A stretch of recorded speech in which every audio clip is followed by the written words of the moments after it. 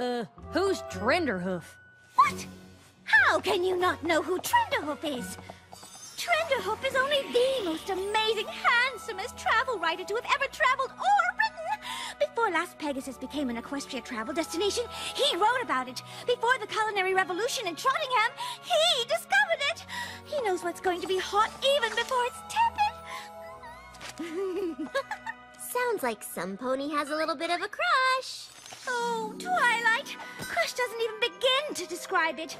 He's practically divine.